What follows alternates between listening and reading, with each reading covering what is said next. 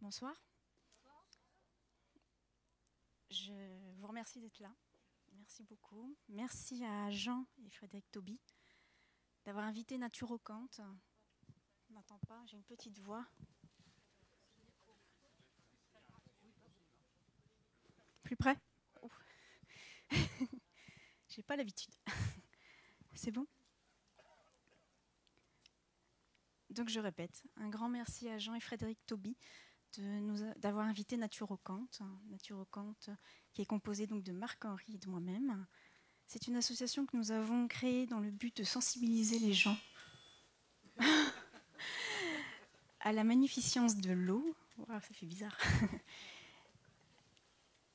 Car l'eau pour nous est vecteur d'information. Donc nous allons voir dans cette conférence d'abord que voyez-vous sur l'image?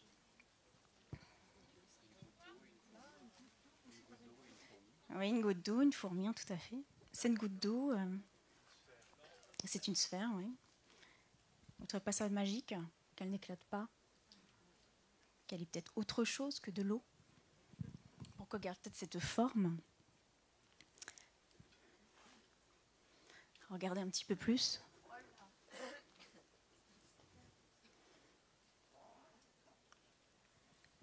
La goutte s'ouvre et se referme. Ce n'est pas magique? Nous allons essayer de comprendre le mystère de l'eau via cette conférence. Alors elle est ni liquide, ni solide. Ni liquide pourquoi? Parce que si elle était liquide, elle s'éclaterait. Elle n'est pas solide parce que comme vous voyez, elle est souple. Marc-Henri parle du quatrième état de l'eau que vous avez déjà entendu toute la journée. Ce quatrième état de l'eau s'appelle également l'eau morphogénique. Morphos pour la forme et génose pour je crée. C'est-à-dire l'eau qui donne la forme de la vie. Regardez, l'eau morphogénique est partout. Elle est dans l'eau de rivière, l'eau est constituée de ces rochers, mais également dans la végétation, et encore l'eau vapeur l'eau insecte aussi. Tout est composé d'eau morphogénique. Nous sommes composés d'eau morphogénique. Alors l'eau morphogénique a cette particularité, je cache, elle n'est pas liquide. Regardez ma main, vos mains. C'est ce côté souple, non liquide, qui ne coule pas. C'est comme une eau un petit peu, pour rétrécir, une eau un petit peu gélatineuse, souple et gélatineuse, qui se structure. Là, vous avez un animal qui est rempli à 99, qui est constitué de 99,99% d'eau morphogénique. Et pourtant, cette eau a une forme, forme de méduse avec euh, différents organes, différentes fonctions. Là, on est au paroxysme, il n'y a pas plus d'eau euh, sur le règne euh, sur la Terre. Alors, je reviens un petit peu à cette slide. Revenons à notre fourmi. Donc pourquoi la fourmi a choisi cette goutte? Et non une autre que dans la nature, il y en a plein d'autres. Alors il y a deux hypothèses. Soit c'est le hasard, hein, dirait la science, mais pour nous, euh, la fourmi est intelligente. Elle choisit l'eau. Peut-être parce qu'elle est en résonance avec elle, peut-être qu'elle a un besoin particulier avec elle. C'est sa sensibilité qui est attirée vers cette eau. Je vais vous présenter différents aspects de l'eau. Donc l'eau matière, l'eau non matière, mais également l'eau consciente. Ça va être un petit peu brut au début, mais il faut bien placer les choses. Abordons le côté matière de l'eau. Regardez, à votre avis, où vont tous ces, toutes ces molécules? La réponse est en bas à droite. Alors, dans un premier temps, il y a la pluie, le vent, l'érosion. Tout ça part sur euh, l'eau de surface puis après l'eau de surface, il y a l'eau souterraine, où ça se déverse un lac, une mer, un océan. Et malheureusement, les stations d'épuration peuvent retirer uniquement les grosses molécules, mais toutes les petites molécules qui se retrouvent de nos déchets se retrouvent dans notre autre réseau qu'on nous propose, voire qu'on nous impose. Je vais vous énumérer euh, malheureusement euh, plusieurs types de polluants qui se retrouvent dans l'eau de réseau. en l'occurrence. Les médicaments, les plastiques, les nanoparticules, les biocides. Dans ceux-ci, il y a les pesticides, les fongicides et les insecticides. Les métaux lourds, des particules nucléaires, des, bactéries, des virus, des moisissures, également des produits chimiques, par exemple le chlore euh, que l'on met dans l'eau, mais également euh, les mégots qui utilisent euh, beaucoup de, beaucoup de polluants, très difficiles à biodégrader. Les produits phytosanitaires non biodégradables, par exemple les lessives, mais également les champs électromagnétiques, électriques et les ultrasons. Alors il y a différents champs électromagnétiques, j'en parlerai un petit peu plus tard. La force de l'eau, c'est que c'est, le solvant universel. Et l'eau, elle aime tout. Quand je dis tout, elle aime à la fois cela, elle aime à la fois les plantes, l'air, elle aime tout. Elle se marie avec tout. Alors comment éliminer, euh, comme on n'a pas trop le choix euh, aujourd'hui d'avoir une eau de réseau polluée, même si on a une source, il faut bien vérifier si elle n'est pas polluée.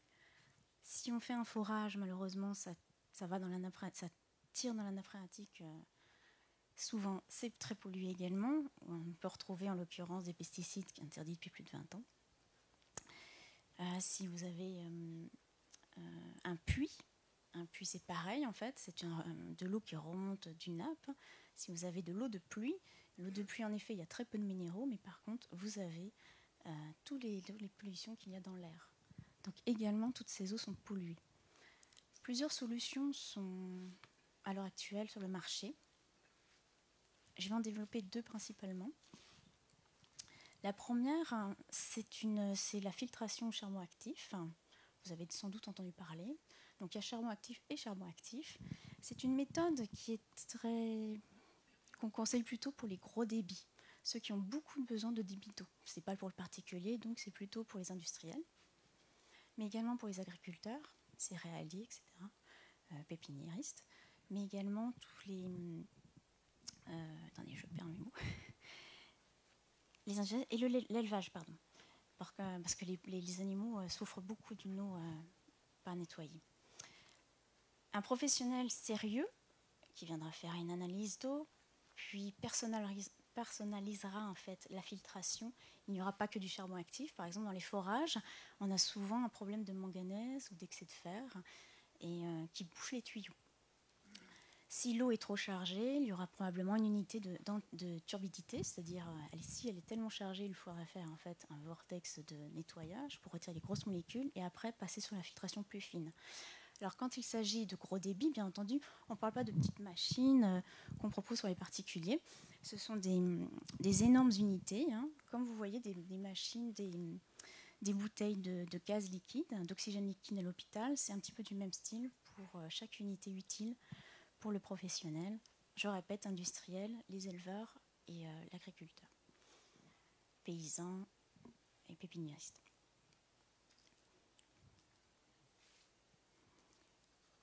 C'est une méthode que Naturocant euh, ne recommande pas aux particuliers parce qu'on n'a pas la maîtrise en fait de l'eau euh, qui sort. Pour la simple raison, c'est que le charbon actif a un volume pour les, particuliers est tout petit et on se retrouve finalement un petit peu sans savoir vraiment si le, filtre est saturé rapidement ou non. On ne sait pas vraiment d'où vient le charbon, on ne sait pas sa finesse les particuliers sont un petit peu perdus. Par contre, c'est une méthode, le charbon actif unique. Euh, pour par exemple, si vous partez en vacances, vous, avez, vous partez une semaine en vacances, vous prenez euh, les fameuses carafes qu'on propose dans les supermarchés. Pour une semaine, c'est très bien. Mais à partir de quelques jours, en fait, il y a une saturation. Le charbon sature des polluants. Et ça, vous ne pouvez pas avoir de maîtrise. C'est-à-dire que ça se reverse dans votre eau de boisson. Je parle en l'occurrence de ces fameuses carafes. Et euh, ça, vous ne pouvez pas savoir en fonction de la dureté et du nombre de polluants qu'il y a dans l'eau. Donc la maîtrise, un petit peu zéro. Par contre, pour les professionnels, bien sûr, ils ont des outils pour analyser euh, que le, particulier n'a pas. Donc pour cela, Naturocant recommande l'osmose inverse. Alors l'osmose inverse, qu'est-ce que c'est? C'est la seule technique déjà euh, qui permet de purifier son eau de quasi toutes les, les molécules polluantes, on va dire à 98%. Donc là, ça devient très intéressant, Parce que si vous êtes sérieux sur le changement des cartouches régulières, en fait, vous n'avez pas de souci, votre eau à la maison est purifiée, c'est-à-dire que vous n'avez plus que de l'eau à 98%. Je vais vous expliquer pourquoi 98%. Dans un premier temps, il y a deux parties dans l'osmose inverse. La partie pré-filtration et la partie euh, membrane osmotique. La première partie, il y a plusieurs filtres. En l'occurrence, il y aura un petit filtre de charbon actif, mais il y aura en premier un antisédiment. Un antisédiment, en fait, il sert à retirer les grosses molécules qui se trouvent encore dans le réseau, c'est-à-dire les boues, les poussières, euh, mais également les sables. Donc là, ça va jusqu'à 1 micron. Après, il y aura la fameuse petite cartouche charbon actif qui, elle, permet de, de, retenir le chlore, mais également les xénobiotiques que nous avons vus avant. Également les particules de 0,1 à 3 microns. Après, il y a un, filtre KDF. Alors, le filtre KDF, c'est un alliage de cuivre et de, zinc qui permet de baisser le chlore, mais également les métaux lourds. Là, c'est intéressant le plomb, le mercure, le phare, également le chrome, également l'hydrogène sulfuré, le carbonate de calcium. Alors, ces trois filtres sont indispensables pour la suivante, qui est la membrane osmotique, qui, elle, permet en fait de faire passer uniquement les molécules d'eau. Alors là, c'est intéressant toutes ces préfiltrations, en fait, c'est pour protéger la membrane. C'est indispensable. Les préfiltrations, tout a changé chaque année. La membrane osmotique, elle, c'est une membrane semi-perméable qui est faite en fait d'un enchevêtrement, c'est pas évident avec un micro, un enchevêtrement de polymères qui est dynamique, qui sont dynamiques. Dynamique comment? Par la pression qui arrive dessus, mais également par la température de l'eau entrante. Et de temps en temps, quand ça bouge, il y a un trou qui se forme. Et là, seule la molécule d'eau peut passer. Savez-vous la dimension d'une molécule d'eau? 0,3 nanomètres. 0,3 nanomètres. Donc seul 0,3 nanomètres passe à travers cette petite, euh, cette petite grille, cet enchevêtrement. C'est intéressant. C'est vraiment intéressant. Parce que là, enfin, on a de l'eau. Sauf qu'il existe des molécules plus petites, à savoir les nitrates mais également la silice. Silice, c'est pas très grave, c'est utile pour nous. mais les nitrates, c'est un vrai problème. Là, malheureusement, pour les nitrates, il n'y a pas beaucoup de solutions, à part euh, avoir plusieurs cartouches de, charbon actif, et encore. Et encore. On peut à peu près enlever 40% des nitrates, mais pas plus. Donc on va dire qu'on a une eau presque propre, soyons optimistes. Alors c'est un achat qui est plutôt à long terme, ça coûte pas comme la carafe au supermarché. Hein. C'est un achat sur du plus long terme. Il faut voir ça sur. Euh, vous ne payez pas les, bouteilles d'eau, vous ne les portez pas. Euh, vous faites attention à la planète, un petit peu plus. Et euh, c'est un objet qui est pour moi central dans un foyer maintenant.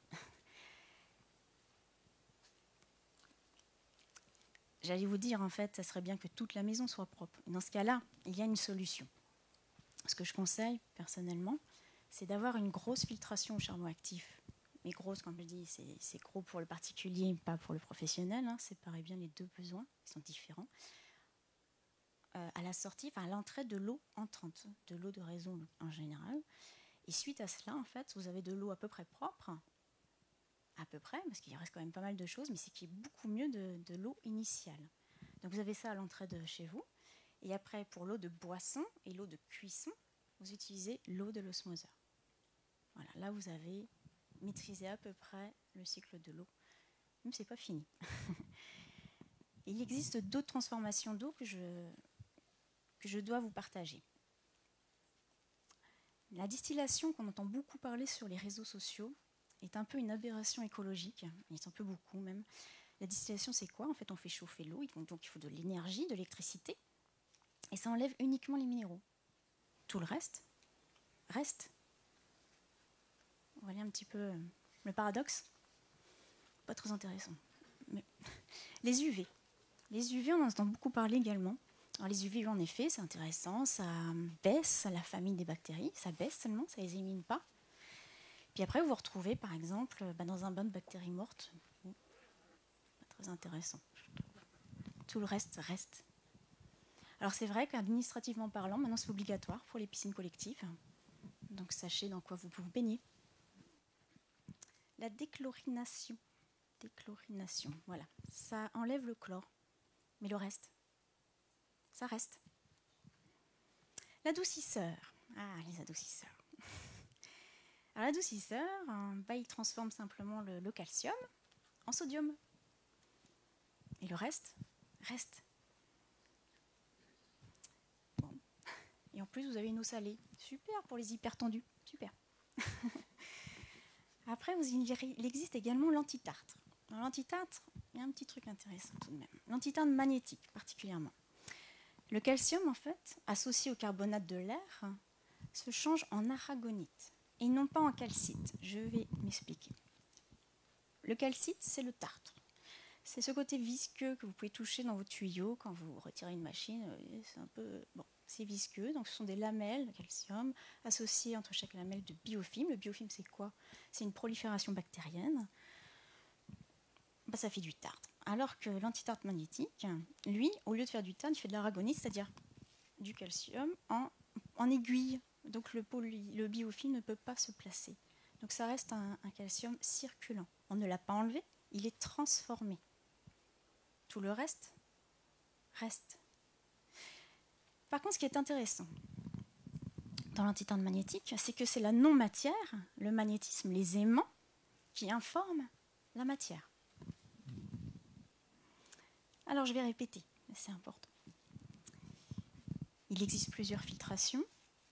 Pour les professionnels, on part sur des grandes unités, unités pardon, euh, de charbon actif, qui est l'élément principal, avec des préfiltrations spécifiques à l'eau euh, de forage, de l'eau qu'ils ont en fait, il hein, faut faire avec. Et pour le particulier, si vous souhaitez être autonome, passez sur l'osmose inverse. Il y a tout et n'importe quoi sur le marché. OK. L'association a créé une petite brochure pour que vous soyez autonome. Autonome pour choisir la machine qui vous corresponde. Que ce soit en fonction de vos besoins, de votre budget, de votre place, etc. etc. Vous avez tous les détails dedans. L'osmose inverse me donne de l'autonomie. Il faut être sérieux sur le changement des cartouches, bien sûr. Donc tous les ans, tout ce qui est avant la membrane osmotique, on le change. Et la membrane osmotique durera 3 à 4 ans. C'est ce qui coûte le plus cher, c'est l'unité centrale. Alors, euh, je rappelle ou je précise, Naturocant euh, ne vend pas de machine. Naturocant ne donnera pas euh, de marque. C'est important parce que nous sommes une association à but informationnel. Par contre, si vous avez déjà, vous hésitez entre deux machines, on peut vous donner une orientation. Bien sûr, on est là pour ça. D'accord? Mais par vous-même, avec cette brochure accessible à tous, vous pouvez être autonome à choisir ce qui vous correspond. Voilà, on est passé sur l'eau matière.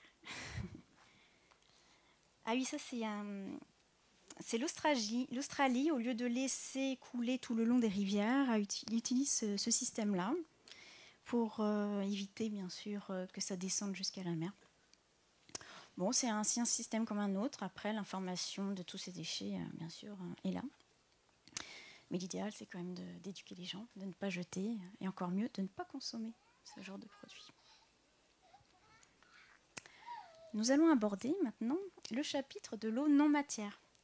Vous allez vous dire, qu'est-ce que c'est le non matière Alors à cette étape, nous utilisons la physique quantique. Ne vous inquiétez pas, je vais essayer de ne pas vous perdre, je ne vais pas rentrer dans les détails. Cette physique, qu'on appelle également la physique du vide, nous, dit que la physique du le vide n'est pas vide. Il est rempli de fréquences électromagnétiques. Ces fréquences électromagnétiques, en fait, c'est comme de la musique de l'univers. Et cette musique nous influence chaque jour, depuis notre naissance, par toutes les planètes, euh, et jusqu'à la fin. Ici, dans cette image, est représenté par des creux et des bosses ce fameux champ quantique, ce fameux vide que je viens de vous expliquer. Donc ce sont des ondulations, des ondulations de fréquences électromagnétiques. En bleu, chaque sphère est un domaine de cohérence. Alors un domaine de cohérence est rempli de 10 millions de molécules d'eau. Et chaque domaine de cohérence est connecté aux champs électromagnétiques qui sont interdépendants. Alors l'eau, soit elle se comporte de façon cohérente ou incohérente. Incohérente, c'est un va un petit peu dans tous les sens. Elle fait un peu ce qu'elle veut, euh, elle va à droite, elle va à gauche, en haut, en bas. Cette eau, on va dire que c'est celle qui retient les sels et les, les nanobules de gaz. Et l'eau cohérente, elle au contraire, fonctionne de façon euh, comme un bloc, comme un régiment. Tout le monde dans le même sens, en même temps. Toutes les molécules se mettent ensemble au pas. Et il faut à la fois autant d'eau incohérente et d'eau cohérente pour que l'information soit maximale. L'information, c'est quoi en fait? C'est l'association à la fois des domaines de cohérence associés, connectés au champ électromagnétique. Petit, petit aparté, les champs électromagnétiques là sont naturels, viennent du vide, mais toutes les technologies d'aujourd'hui malheureusement perturbent ce champ. D'où le fait que les domaines de cohérence sont perturbés, sont fluctuants, et qu'on se retrouve avec euh, des maladies, par exemple, en lien avec notre eau morphogénique qui est elle-même perturbée. Pour ça qu'il faut éloigner un petit peu toutes ces technologies de l'eau que nous buvons, que nous bougeons essentiellement, mais notre eau qui se régénère toutes les nuits. Donc il est indispensable de, d'éteindre toutes ces technologies. Toutes ces technologies, même loin du 50 Hz du réseau électrique. Regardez un petit peu ce qui se passe.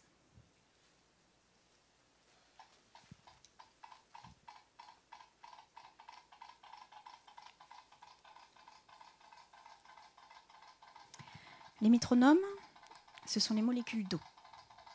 Elles vont dans tous les sens. Elle est incohérente, elle fait un peu sa vie. Je joue la musique que je veux. Les molécules d'eau sont mises sur ce plateau qui correspond au vide à ces fameux champs électromagnétiques, les ondes, les creux et les bosses qu'on a vus précédemment. Que se passe-t-il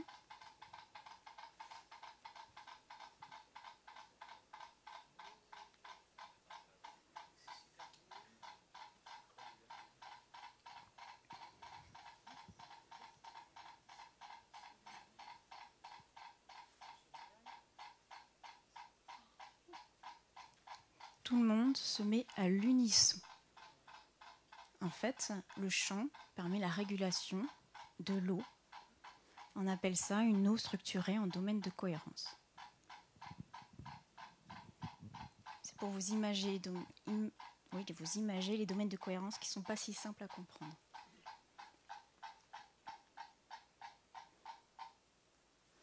Là, c'est un autre exemple.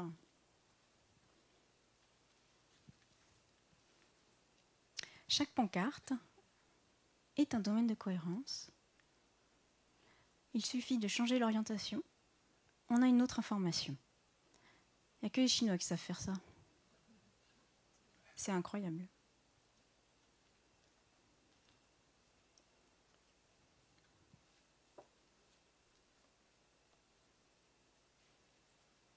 Tout le monde est important.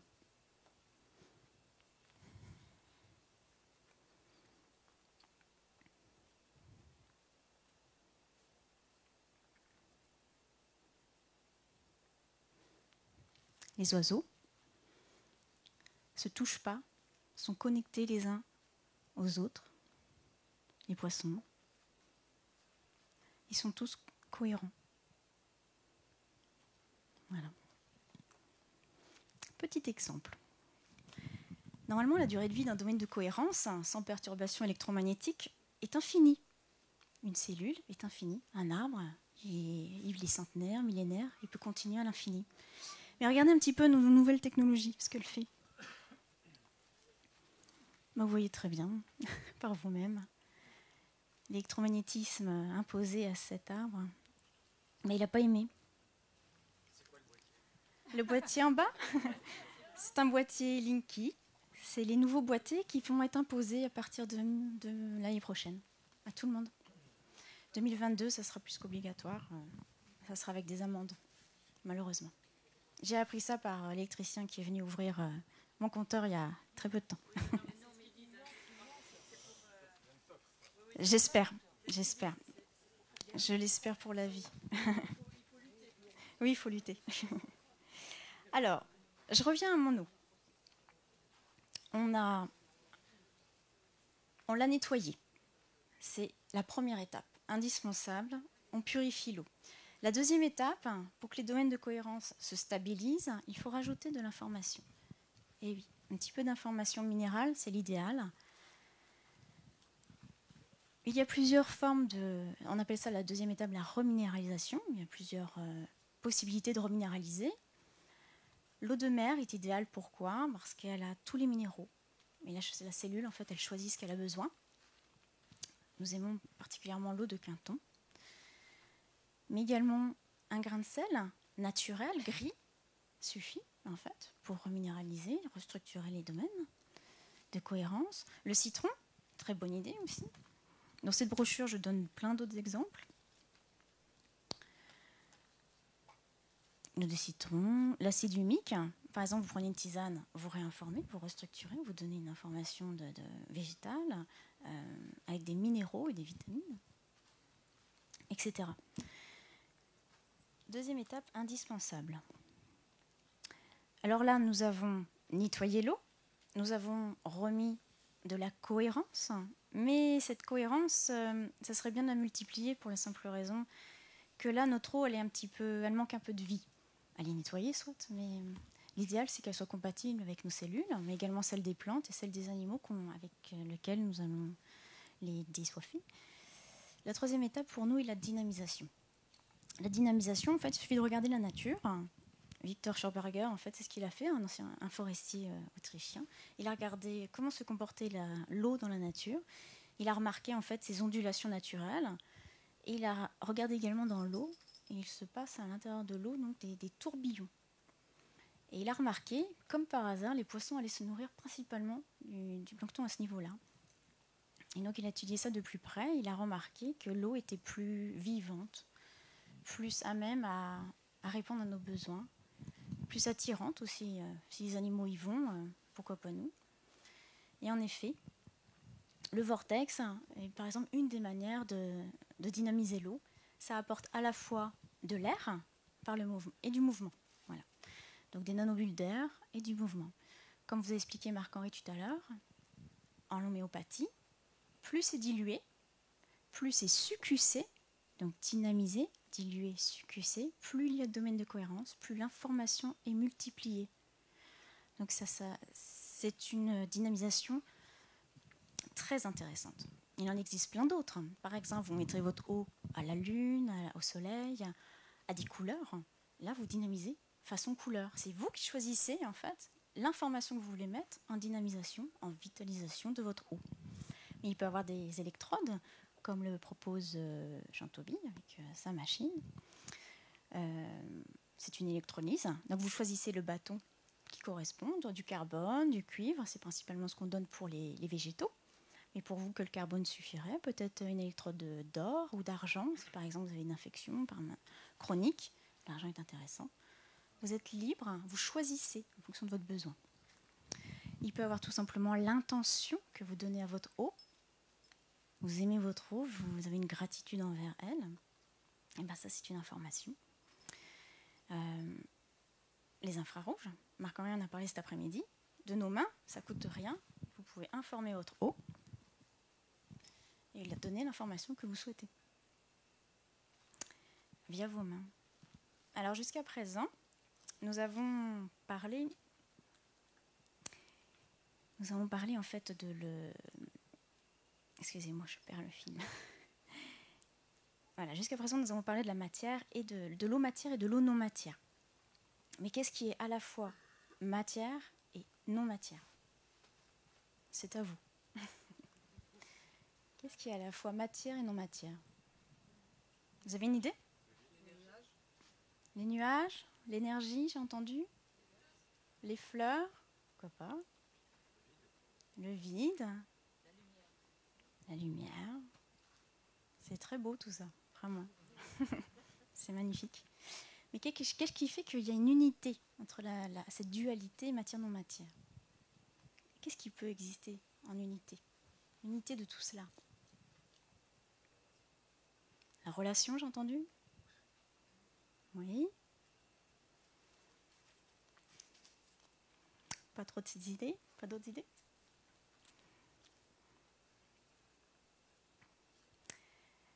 Marc m'a dit la monade. Super, j'aime beaucoup aussi. À présent, nous allons parler en fait de la conscience, la conscience de l'eau. Donc, nous parlons en fait de l'eau consciente. La conscience, en fait, euh, de la conscience découle l'information. L'information informe la matière. La conscience, on peut dire le vide. On peut dire les fleurs qui découlent de tout cela, du vide, en effet. J'ai entendu les relations, tout découle de cette conscience. J'ai entendu la lumière, en effet, tout ça découle de la conscience. Tout ça fait un. Alors la caractéristique de la conscience, c'est qu'elle interprète l'information mémorisée dans l'eau. C'est la seule qui puisse décoder en fait ce que vous mettez dans votre eau. Et c'est pour ça qu'on a un appel vers cette eau et des fois on est plutôt rebouté ou, on se force. Ben ça c'est pas un bon signe. Hein. Ça signifie que l'eau elle vous correspond pas. Elle fait pas résonance. Par contre si vous avez soif, et, il y a une caractéristique dans cette eau que, vous avez besoin. La conscience est partout, dans les plantes, les animaux, les humains, et même dans, euh, dans l'eau de cette bouteille. Il y a une certaine conscience. Plusieurs personnes ont essayé de matérialiser cette conscience. Masaru Emoto a montré par cristaux de glace l'interaction qu'il pouvait avoir lui avec l'eau. Malheureusement, l'eau glacée n'a plus de vitalité, donc elle n'a plus l'information de vie. C'est joli par contre. Marc-Henri travaille avec la machine électrophotonique qui donne l'effet, on va dire corona, mais amélioré euh, de l'eau. Donc là, il s'agit de, dilution euh, homéopathique. Et comme vous avez compris, l'homéopathie se base, euh, crée les produits avec de l'eau. Et donc, c'est un moyen de visualiser l'information mémorisée dans l'eau via les électrons, domaine de cohérence. Un autre exemple. L'acteur-réalisateur Bernard Blancan a trouvé un moyen simple de montrer l'interaction que nous avons, nous, avec nos humeurs, avec l'eau, en fait, selon nos humeurs. Donc l'eau qu'il utilise, lui, c'est du sérum physiologique, qui est très proche de notre sérum. Alors regardez, euh, l'étude, c'était sur plusieurs personnes, de prendre une fiole de sérum physiologique, hein, de se promener toute la journée, de faire sa vie. Hein. Euh, ce, sérum, en fait, euh, est branché à un ordinateur qui va prendre un petit peu les, différences que l'eau peut émaner, avec la seule contrainte qui était à la fin de regarder une vidéo sur l'eau. Bah, regardez par vous-même, en fait. La personne prend la fiole, c'est un tableau général. Hein. Elle prend la voiture, elle veut voir euh, son médecin, probablement elle est restée dans la salle d'attente, l'eau a, interagi. Elle rentre dans la voiture, elle pense peut-être à une petite pâtisserie, ce serait sympa, ça remonte. Faire la cuisine, ça remonte. Et à la fin, tout en haut, on a la fameuse vidéo sur l'eau. Là, on voit très bien que l'eau liquide, donc c'est le seul qui a montré avec l'eau liquide, que l'eau interagit. L'eau a une sensibilité avec nous. Bah, comme vous avez vu avec euh, le travail de Jean Toby, de Pedro Ferrandis, mais également de Joël Steinheimer, euh, en fait, ça révèle que nous sommes, euh, que tout a une conscience, tout ce qui est constitué d'eau, en fait, a une conscience et interagit avec nous. C'est un peu à nous, en fait, de nous ouvrir davantage. Je parlerai également, en fait, des élixirs floraux, qui ont, en, l'occurrence, une marque française, qui a la, gratitude de simplement prendre la fleur sans la couper et de mettre l'information de la fleur dans l'eau, avec le grand respect hein. et le grand remerciement de la fleur. Les domaines de cohérence, l'information est stabilisée via un petit peu d'alcool. L'alcool euh, stabilise l'information. Et vous avez des élixirs floraux euh, vraiment de très bonne qualité. Je reviens à notre slide initial. Donc l'eau est un être sensible. L'eau et conscience sont reliés. Alors maintenant que vous savez un petit peu tous ces détails euh, sur l'eau, vous ne pouvez plus boire l'eau comme euh, une matière inerte ou sans conscience. Il devient difficile après d'avoir toutes ces informations que vous avez eues sur la journée, euh, de faire les choses de façon automatique. Buvez une eau propre, c'est l'eau que vous buvez, donc c'est l'eau qui va vous constituer dans le temps. Premier détail. Celui que vous donnez également à vos animaux, celui que vous donnez à vos plantes, pareil. Pourquoi leur donner une eau du robinet déstructurée et puis avec beaucoup d'autres choses que de l'eau? C'est normal qu'elles font grésimine souvent. Un grand respect sur l'eau, en fait, est indispensable. Dans, le, dans la conscience, dans le respect. J'aimerais partager, euh, remercier particulièrement Marc-Henri, qui, euh, grâce à lui, en fait, je ne serais pas là ce soir, à cette place en tout cas. Donc, euh, grand merci à Marc. Ici, vous avez tous ses écrits euh, que vous pouvez retrouver bien sûr ici, mais également sur notre site marc-henri.org. Vous retrouverez également sur le site tous les articles en libre accès scientifique. il y a une page attitrée à cela. Voilà. Et donc, c'est 40 ans de travail. merci Marc de nous faire partager toutes ces informations. Voilà. Merci à vous. Si vous avez des questions, je suis.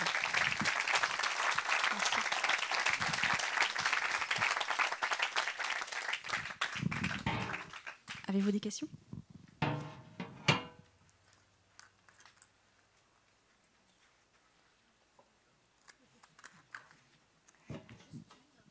Oui.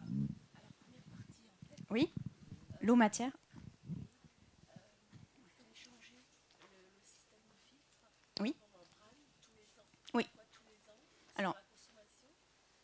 en fait, c'est pas sur la consommation, simplement il y a une saturation.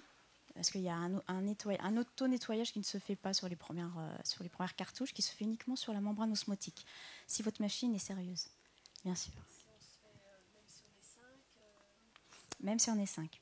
Euh, c'est quelque chose qu'il faut changer tous les ans sans réfléchir. La membrane osmotique, il faut l'adapter par contre à son, à son volume d'eau qui sera tiré de la machine quotidiennement.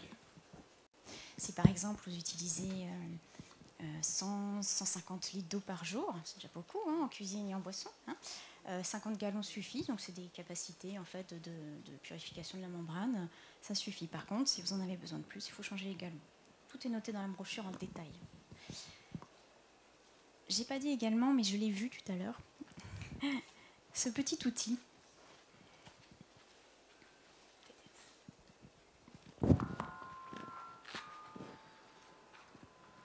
Ce petit outil coûte 20 euros. Il est fort utile pour la simple raison que ça s'appelle un TDS, un Total Dissolver Solid. Je suis très mauvaise en anglais, pardon. Ce petit outil, en fait, vous pouvez l'acheter en tant que particulier dans une boutique de bricolage et vous pouvez savoir le nombre de particules par centimètre cube. Donc vous mettez votre eau avant l'osmoseur, après l'osmoseur. Déjà là, vous allez blanchir tout ce que vous avez enlevé. Hein. par contre, ça mélange tout. Les minéraux, les polluants, euh, d'accord, on n'a pas de détails. Mais avec ce petit stylo, en fait, vous avez déjà une idée si votre lot est chargé ou pas. Et en fonction du fait qu'elle soit chargée ou non, il faut mettre des, des préfiltres en fonction. La membrane, elle reste à part. C'est le centre de l'osmose. D'accord? Les préfiltrations, c'est simplement pour la protéger, qu'elle dure longtemps dans le temps. Parce que sinon, les polymères, ils vont se, vite se, se saturer. Mais l'idée, c'est pas ça. L'idée, c'est d'être autonome dans le temps.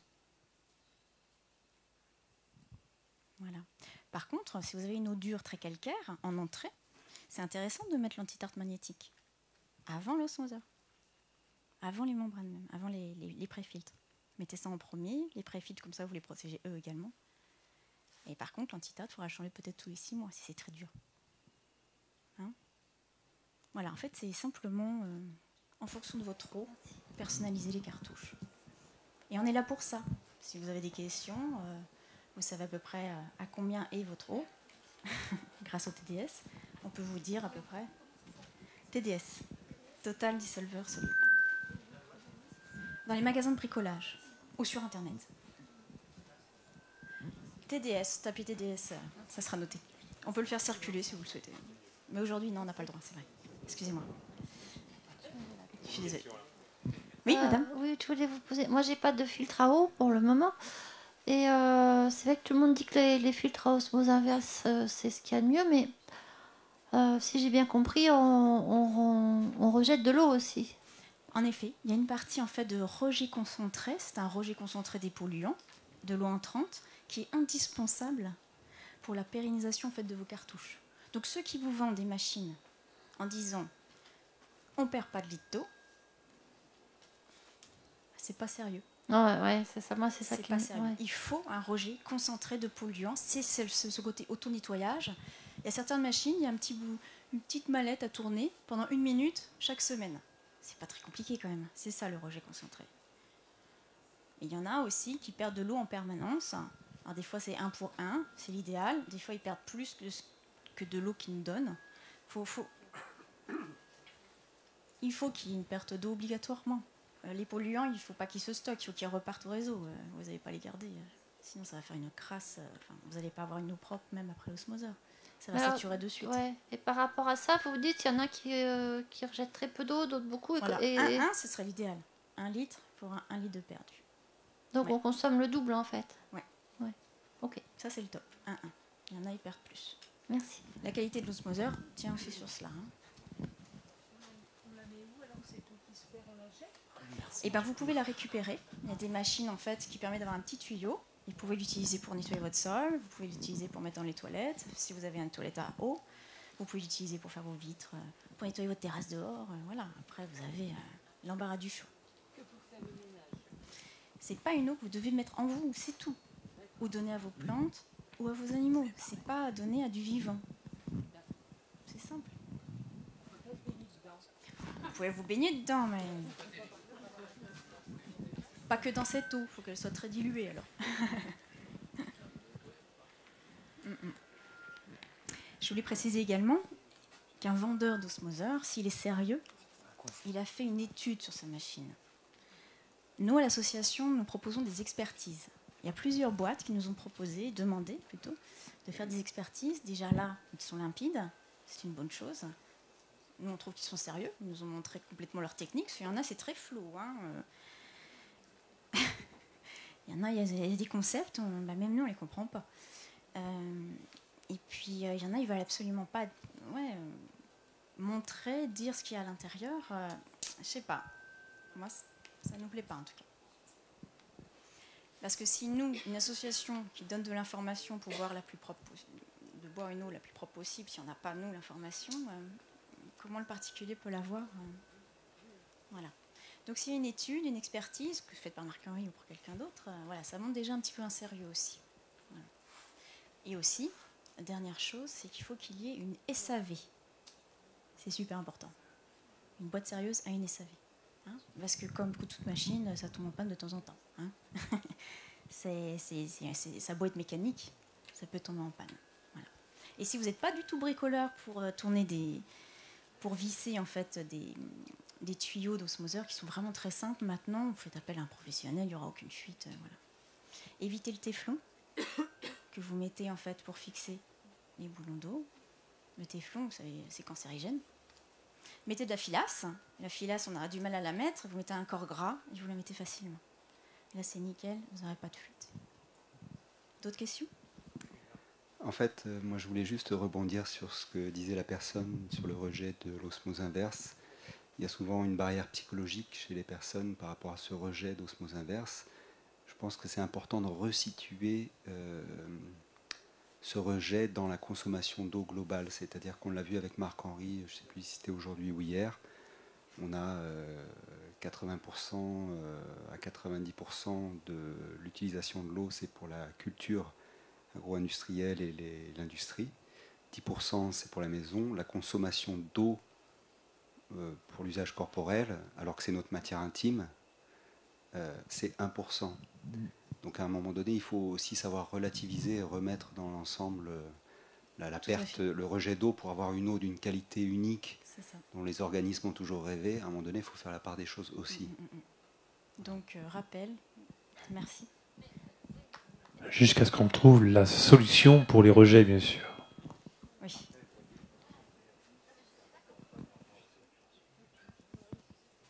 Donc trois étapes, hein, je vous rappelle. Purification, reminéralisation, dynamisation. C'est indispensable. Voilà. À part si vous avez bien sûr une source non polluée, alors là, c'est le pied. Mais il n'y en a pas beaucoup qui ont ça chez eux. Est-ce qu'il y a d'autres euh, détails que vous aurez besoin? Sinon, vous savez que tous les détails se trouvent dans cette petite brochure. Pour, avoir une question Oui. Euh, ma question, moi, c'est pour euh, avoir votre avis sur un passage par une lagune avec des plantes aquatiques, Mhm. une cascade à vortex, la reprendre, tu vois, la refaire circuler, Mhm. et puis qu'elle soit abritée, des feuilles mortes qui tombent, de, de qu'il n'y ait pas d'animaux qui Mhm. puissent vraiment venir dedans. Moi, j'aurais vraiment envie en fait de mettre ça en place, et j'y suis presque en fait à faire ça. Oui, mais ton eau part- entrante, c'est quoi? Ça va être l'eau de pluie. L'eau de pluie. Oui. On en a parlé tout à l'heure, en fait, l'eau de pluie. Il n'y a pas beaucoup de minéraux, soit. Il n'y en a Oui. même pas, mais il y a tout le reste. Tout ce qui tombe en fait de la pluie, tout ce qu'on rejette par euh, notre véhicule, par exemple, ça se retrouve dans ton eau de pluie. Et c'est là que Là, il te faut quand en ça fait, passe par la lagune, notamment quand il y a des écorces et qu'il y a du mycélium qui arrive à se développer sur le bord de la Mhm, lagune. Et bien moi j'ai envie de faire vraiment confiance à ça, en Stamet fait, à cette symbiose qu'il va y effet- avoir entre les plantes aquatiques et les Mhm, mhm. mycéliums sur la bordure, en aérobie. Ouais, ouais, euh, ouais. Et oui, si c'est un peu surélevé et tout ça, ça fait des échanges en fait. Stames utilise en effet les mycéliums pour nettoyer des terrains extrêmement pollués. C'est un Américain qui a trouvé ça, c'est très intéressant. On l'utilise pas, je ne sais pas pourquoi. Les décharges sauvages laissent vraiment beaucoup d'impact sur la nature, c'est un grand n'importe quoi. Et en effet, les mycéliums ont cette capacité en fait d'avaler les polluants. Et on ne sait pas ce qu'ils en font, mais en tout cas, ils les transmutent. Ils disparaissent. C'est incroyable. Donc en effet, c'est une belle solution. Mais euh, faut pas que tu bois en fait l'eau de la pluie à la lagune entre les deux. quoi. faut que le cycle passe dans ta lagune, peut-être revenir, faire une analyse quand même, ça serait bien. Savoir si ça enlève tout, s'il te faut une capacité supplémentaire euh, de plantes, de mycélium, et après doser. Et le problème des particuliers, c'est qu'ils n'ont pas les moyens de faire des analyses avant, après. C'est tout de suite 500, 1500 euros. C'est complexe. Oui? Attends, prends, prends le micro, euh, Serge. Bonjour. J'ai ce système donc Osmoser euh, que j'utilise depuis maintenant 3-4 ans et nous en sommes très contents. Et comme nous sommes aussi, euh, comme nous étions aussi sceptiques euh, un petit peu sur le, sur le résultat, on a acheté aussi un stylo particule par million Hmm. qui, Le TDS, le fameux. qui donc, qui donc euh, montre bien qu'on est à zéro, on finit à zéro, quoi, on finit à 20 quoi. 20 Très 20. bien. Hmm. Ensuite, euh, un jour, donc il a pas mal plu. Je me suis dit, ça, ça a magasiné l'eau sur la terrasse, sur, euh, sur un endroit où on met de l'eau pour, euh, pour les oiseaux. Et puis, on était à 300, 380, je ne sais plus combien de ppm. Comme l'eau du robinet, qui sort, l'eau, l'eau Hmm. qui sortait non, du C'est la moyenne, 300. Ensuite, 350. en pente, ça- je suis rebondi par rapport à hum, ce que disait la personne tout à l'heure. Donc, en pente, dans lequel on avait fait des trous pour, pour y mettre après des plantes. Et puis, ben, on se dit avec Aurélie, mais attends, on va les tester là-bas. Mhm. Donc, on est tombé à 80, Mhm. à 40, et on est arrivé presque à 30 sur le, sur le dernier trou, tout ça sur 10 mètres. Eh ben, super. Mais maintenant, c'est- donc, est-ce que ce serait consommable ou pas cette eau-là? Ça serait bien de faire une analyse. Après, faites appel à votre ressenti. Mais moi, je pense que là, il y a quand même une belle baisse. C'est incroyable de descendre de, tr- de 300 à Ouais. 30. Ça doit être des plantes euh, bah, phyto euh, d'épuration, en fait. ben, euh, là, là, pour l'instant, on n'avait rien, mis- joncs, on avait rien des- mis sur le terrain, c'est juste ça, ça a drainé. Quoi. Donc, je sais pas par quel système ça a enlevé, mais en tout cas, il y a eu euh, test euh, C'est mesuré. surprenant effectu- qu'il y ait autant de baisse. Ouais. Pour être honnête, Ouais, déjà. mais Euh, après, il existe des plantes, en effet, hein, qui absorbent, qui absorbent, qui transmutent, qui remettent dans l'air, qui remettent dans leurs euh, racines, qui stockent. Euh, Est-ce que ça se rejette ou pas? Ça, c'est de l'expérience à faire dans le temps. Voilà, J'avais une autre question. Il Oui. existe parce que est-ce qu'il existe un système euh, osmoser Mais osmoser, ça marche quand même avec la pression donc de l'eau. Maintenant, si on Oui. va si on va quelque part, je sais pas, donc euh, on n'a pas d'eau à proximité, mais on a, on a un ruisseau. Est-ce qu'on pourrait euh, pouvoir euh, Est-ce Oui. qu'il existe des systèmes Oui. dans lesquels on peut extraire euh, cette J'ai pas donné tous les détails, mais l'osmose inverse, en fait, est souvent vendue avec une pompe pour mettre plus de, de pression et que l'eau propre sort plus rapidement. Ce que je vous ai pas dit, c'est que il reste un petit filet quand même pour que chaque molécule d'eau passe à travers l'enchevêtrement de polymère. C'est lent. Donc c'est un petit filet d'eau. Donc en effet, il existe des pompes en fait pour pousser euh, un petit peu plus euh, cette pression et donc euh, que l'eau propre sorte plus rapidement. Là, c'est votre cas. En fait, il faudra ajouter une pompe supplémentaire à votre osmoseur. Par contre, L'information 50 Hz utilisée par le, le- le réseau informera votre eau. Parce que les domaines de cohérence sont fluctuants, comme je vous ai dit à la sortie de l'osmoseur. Donc après, il faut redonner une structure, des domaines et une information de vie.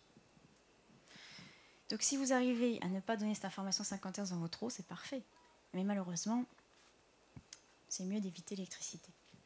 C'est mieux pour pas avoir cette information-là, parce que c'est vraiment une information anarchique, qui est fluctuante, qui, qui est fluctuante. Oui, il faudrait du, ou sinon du continu, mais vous avez tout de même l'information des 12 volts, même s'ils sont continus.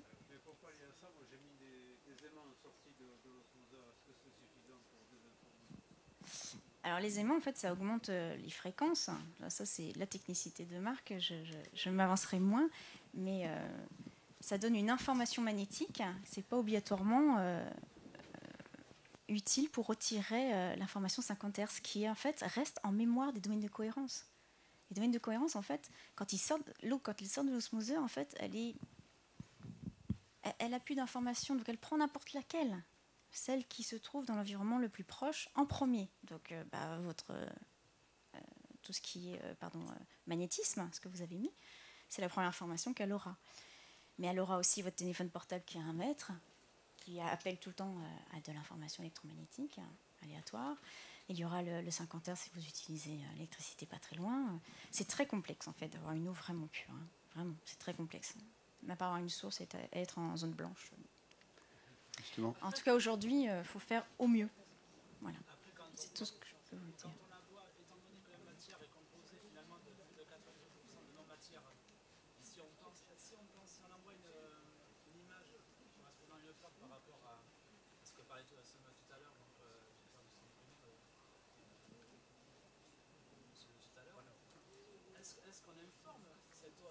Oui, bien sûr, on l'informe avec n'importe quelle intention, que ce soit avec une plante, que ce soit avec votre pensée, votre imagination, bien sûr.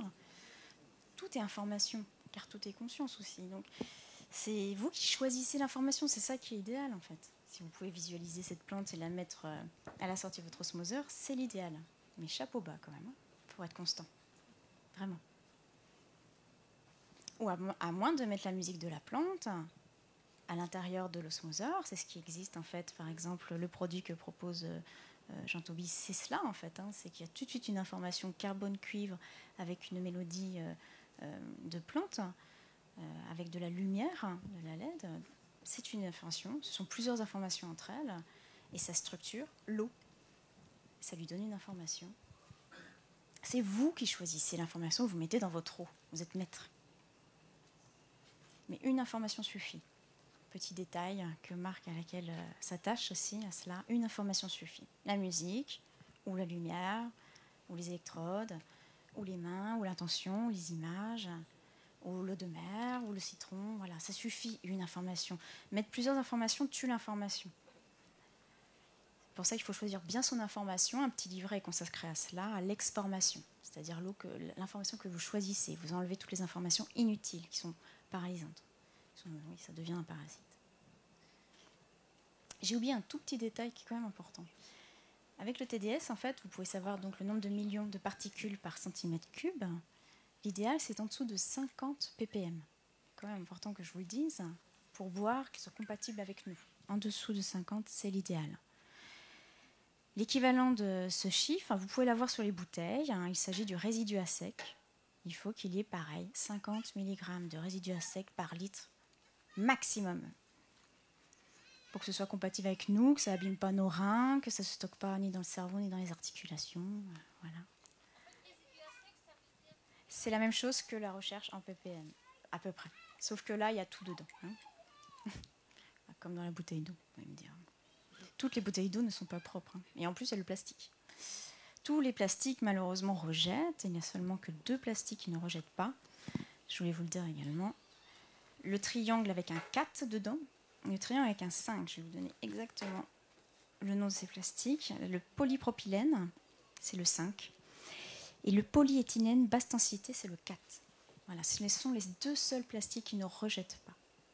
Par contre, si vous mettez votre eau dans un plastique, il y aura la formation plastique. C'est vous qui choisissez. Vaut mieux du verre, c'est plus stable. Attention au verre bleu aussi. Le cobalt est une information toxique pour nous. Attention, plutôt des verres bruns. Voilà. Les couleurs informent, c'est une information.